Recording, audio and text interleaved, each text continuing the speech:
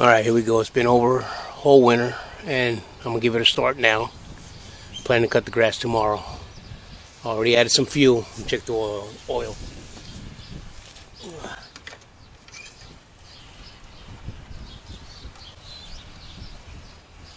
Okay. Looks like it needs oil. Yep. It's gonna need some oil. Good. Fuel is good. All right, let's crank her up.